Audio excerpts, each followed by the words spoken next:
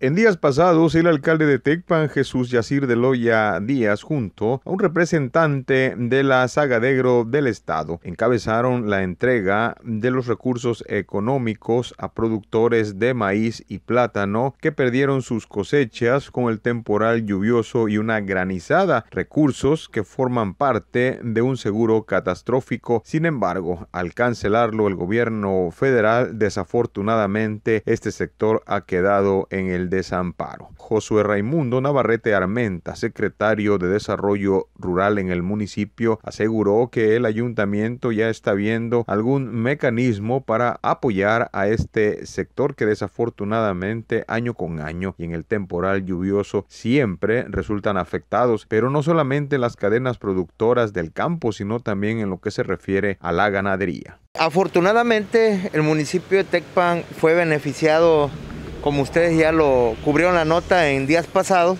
con este seguro.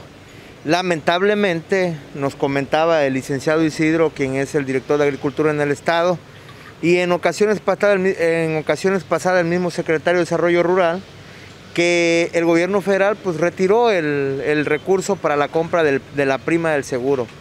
Eh, nosotros eh, lamentamos esa situación, sin embargo, platicando con el presidente, pues bueno, ahorita sabemos que por el tema del COVID, pues muchas cosas se nos, se nos este, atrasaron, ¿no? Eh, decirte que nosotros íbamos a implementar un programita precisamente en apoyo a los productores. Lamentablemente, pues con esto del COVID no ha habido condiciones. Eh, yo creo que pasando, pasando el tema de la cuarentena o que por lo menos los índices vayan un poco a la baja, pues de alguna manera tendremos que darle alguna respuesta a los productores. Pero sí, muy lamentable, ¿no? Lamentablemente ya el seguro agrícola deja de operar ya. Desde el mes de enero tuvimos una, una reunión con los comisariados ejidales y municipales. El año pasado el presidente municipal echó a andar el programa de Más Maíz, donde se le dotó de semilla mejorada a los productores. Este año se citó precisamente a, a los comisariados y comisarios para preguntarles si era todavía si requerían ese programita, ¿no? O lo podíamos cambiar. Ellos dijeron que, que lo cambiáramos por uh, uno de, implementos agrícolas.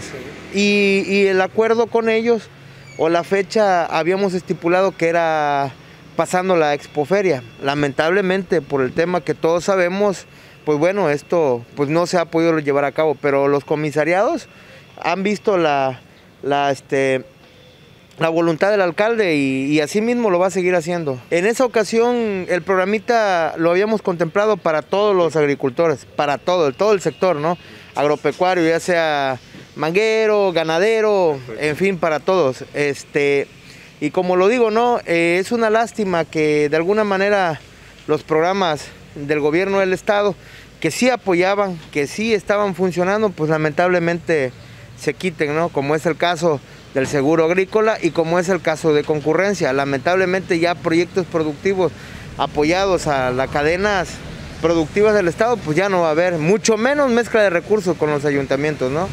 Esperemos, esperemos o sí lo vamos a seguir haciendo Vamos a seguir haciendo pláticas con el gobierno federal para ver de qué manera se le puede ayudar ¿no? a los productores. Navarrete Armenta aseguró que es importante encontrar los mecanismos para apoyar a una actividad o las actividades que han dado muchísimo desarrollo al municipio de Tecpan. Sin embargo, se requiere también el consenso y los acercamientos con las cadenas productoras para que también sean ellos los que propongan algunas soluciones que pudieran apoyarles y que no resientan la problemática cuando se presente este tipo de desastres naturales.